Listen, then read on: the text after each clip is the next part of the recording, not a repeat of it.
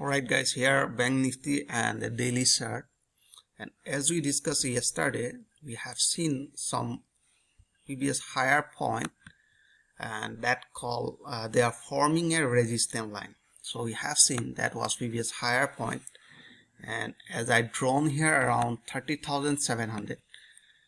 So here we have seen this was resistance line previously uh, price was respecting that area and price was reversed back from this area. And here somewhere they are forming a support somewhere resistant resistant sorry support support and resistant. So in that case we have seen that was a resistance line. So near this resistance line we have seen a pin bar right? Already i discussed uh, in my previous video. So that means when they are appearing this type of pin bar bullish momentum are, like uh, decreasing right? So here was a bullish momentum. So after that we have seen there are right now bear are dominating uh, from this area right?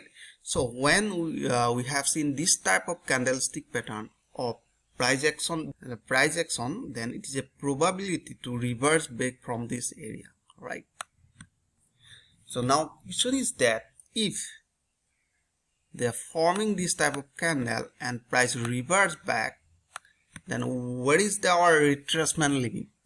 Or retracement price.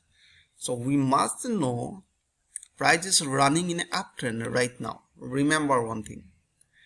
By forming this candlestick pattern there is a probability to retrace. I'm not talking about they will uh, change the trend and they will start running toward the downtrend. I'm talking about the price will give a retracement from this area. That was uh, that is a probability. There is a no 100% certain any rules right? So in that case if uh, as we analyze uh, as we analyze this if price retrace from this area what is the retracement level? All right so uh, if you want to see previous market behavior price gone up reverse back. Gone up and reverse back toward this moving average.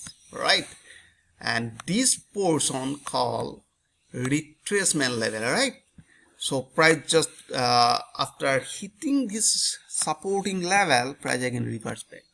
So similarly if price retrace what is the retracement level?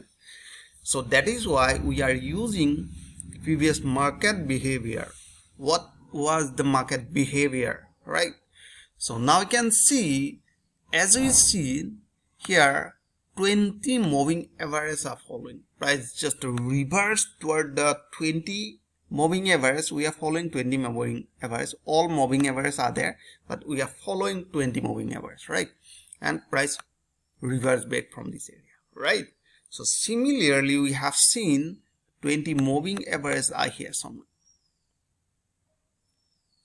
Now we are expecting if price continue toward this retracement so our supporting level is here around 29,700 if somebody uh, wanna take sell risk from this area they must close their position around 29,700 because there is a supporting level. And if you want to see the previous market behavior we have seen here uh, support price reverse back here we have seen as a resistance and a reverse back that means this line and here you can see multiple rejection are there. That means this region around 29,700 is a acting as a support. So we must close our position in this area and we are looking for buy above this supporting line. All right so let's jump to four hour chart. And the four hour here we can see we have seen multiple doji pattern right? After that followed by a bearish candle have you seen?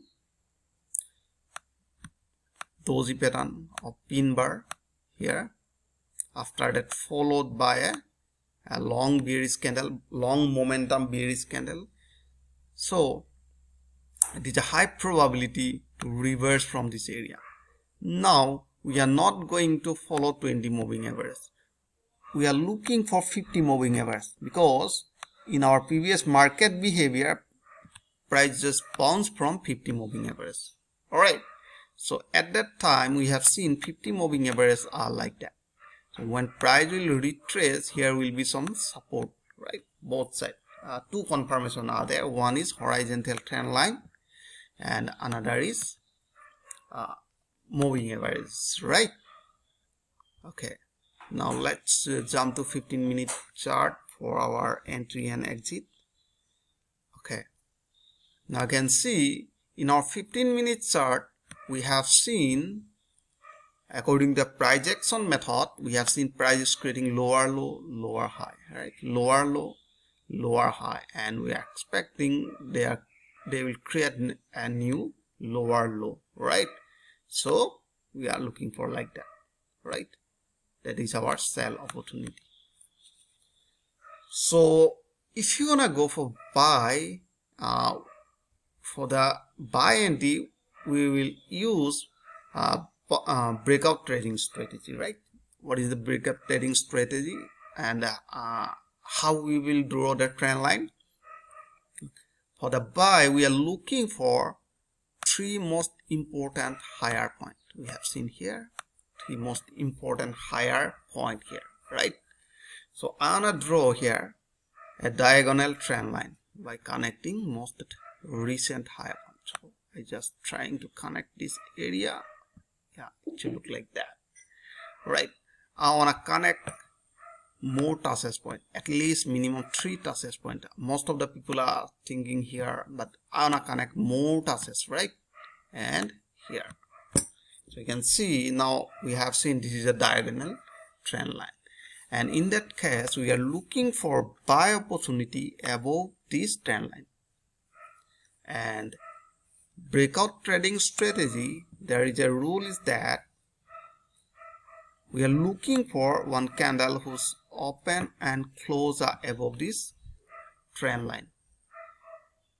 So after that we will place our buy order at least 10 to 20 point above that candle right and you can use your ATR for SL already I discussed there. And set your target. Near previous higher point. Alright. So I hope you enjoyed this video. If you like this video please like and subscribe. Thanks for watching